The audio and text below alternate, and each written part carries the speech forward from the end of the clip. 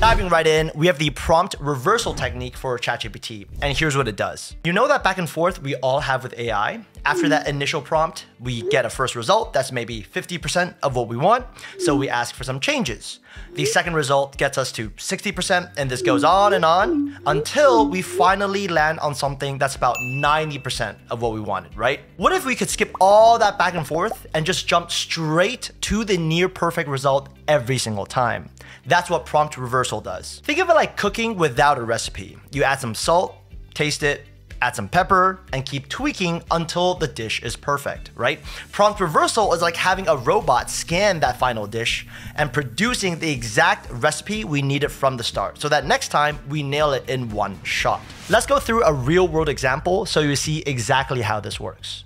I start off by asking ChatGPT to analyze our main competitor, Anthropic, and walk me through their business strategy. I receive a comprehensive overview of Anthropic's entire business, but this is way too dense. I'm not sure what I should focus on. So I course correct and I say, hey, this is too dense restructure this into the SWOT analysis format strengths, weaknesses, opportunities, and threats. I want three bullet points per section and use clear and simple words. And I get a targeted SWOT analysis, but now this is too concise. The bullet points need more detail. So I refine again.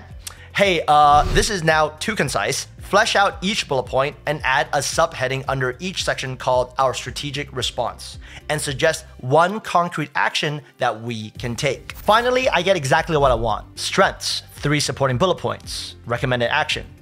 Weaknesses, three supporting bullet points, recommended action. Same thing for opportunities and same thing for threats.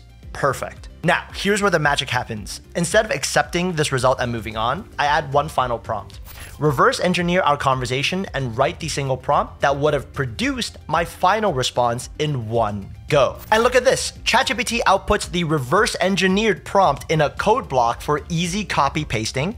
And we can test this out. I'm just gonna copy this code, open up a new chat, paste it in, click enter, and I'm just gonna fast forward this part here, and as you can see, we got that perfect detailed analysis in one step. That's pretty fucking awesome. Not only does this technique save us so much time and effort over the long run, but it also captures all those little details we refined along the way. And it helps us become better prompt writers because we can actually see how optimized prompts are structured. Pro tip, people often ask me which prompts I save to my prompts database in Notion.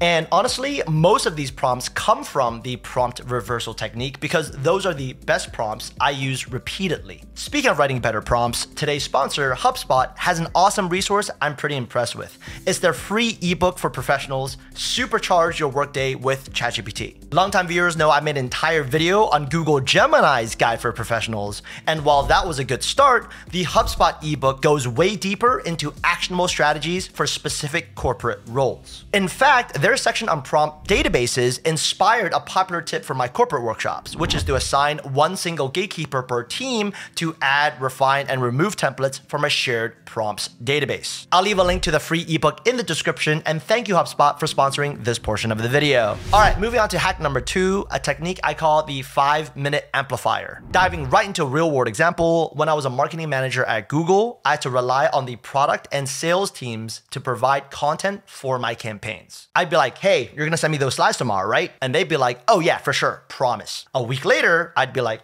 yo, where are the slides? And they'd be like, oh, I'm so sorry. I was busy pitching clients and generating shareholder value, something you marketing folks won't understand. And I'd be like, oh, go fuck yourself. Just kidding. I love the sales team. Anyways, with ChatGPT, as long as I can get my hands on their main slide deck, I can amplify that content all by myself. For example, I can ask the AI to create an engaging 10 question quiz based on their slides with multiple choice options and the correct answer indicated. Boom. Now we can test the audience's knowledge and keep them engaged. Next, I'd have ChatGPT draft an internal recap email for stakeholders who couldn't attend the event, summarizing the key takeaways and product updates. Then I might ask the AI to create an external client facing infographic that pulls out the most impactful stats from those original slides. And now I have a follow up asset to share with clients. And this works across any department or role, right? The sales team can turn an industry report from marketing into cold emails for client outreach, a LinkedIn post to generate leads, and a list of talking points for their next call. HR can turn a one hour webinar transcript into a quick reference guide with step by step instructions, an FAQ for the company intranet, and a knowledge check quiz for attendees. The benefits should be pretty obvious by now. We basically save hours of manual reformatting and rewriting by using AI to repurpose one high effort piece of content we already have access to. Pro tip be selective about your source material and only amplify what I call pillar content. Your high quality, proven work like a successful presentation or a data rich report. Because the AI will magnify the quality of what you give it. Garbage in, garbage out, right? If you find my AI videos helpful, by the way, I'm actually developing an entire course on evergreen skills and universal principles to master any AI platform, giving you a future proof framework that never becomes obsolete. If you're interested in learning a practical and timeless AI system, click the link below to join the waitlist. All right, moving on to strategy number three the red team technique. This is a simple two step method. First, you ask the AI to create something from your perspective. Then, and here's the important part, you immediately ask it to flip the script and adopt a critical and opposing persona. Let's go through some examples. First up, job applications. You first ask ChatGPT to tailor your resume for a job description. Instead of stopping there, you then flip the script by following up with, now act as the hiring manager for this role. You're extremely busy and only have 60 seconds to scan the resume you just helped me write. What are your immediate red flags? Example two, after asking AI to draft a business proposal for your CFO, you red team that proposal with, you are now the company's chief financial officer, CFO, and your primary goal is to cut unnecessary costs. Read the proposal you just generated and critique it. What's the biggest financial risk? Why isn't the ROI justified? Example three, after asking ChatGPT to refine a cold outreach email, you tell the AI, you are now that VP of marketing I'm targeting. You get 50 cold emails like this every day, read the email you just wrote and tell me your immediate unfiltered reaction. Which specific sentences make you hit the delete button and why? As you can see by now, the red team technique helps us anticipate challenges, giving us the opportunity to strengthen our message before it reaches a real world audience. Pro tip, be extremely specific with the persona you ask the AI to adopt. Don't just say act as a critic. Give it a detailed role with clear motivations, like you are a risk averse CTO whose main concern is data security. The more specific the persona, the more insightful the feedback. Pro tip number two, turn the AI's critique into an actionable to-do list. Use another follow-up prompt like, based on the weaknesses you just identified, help me rewrite the three weakest sentences in the original email. This closes the loop and helps you instantly improve your work based on the feedback. All right, our fourth hack is a technique I call blueprint scaffolding. In a nutshell, this forces the AI to explain its step-by-step reasoning before it delivers the final output. It's like finalizing the blueprint of a house before actually building the house. Diving right into an example, I start off with a basic prompt like, I offer offer an online course called the Workspace Academy. I need a marketing campaign brief for the Q4 holiday promotion. And the result is extremely generic here uh, and includes a lot of information I don't really need. For example, like tracking, UTM's measurement, operations and roles, risks and mitigation, right? I don't need to see any of this right now. With blueprint scaffolding, the improved prompt looks something like this. I offer an online course called the Workspace Academy, blah, blah, blah. This is all the same. And then first outline the standard sections of a professional brief and give me a one sentence description for each section. By seeing this blueprint first, I immediately realized, okay, it's giving me way too much information. I don't need 18 bullet points or sections, right? So I can course correct immediately.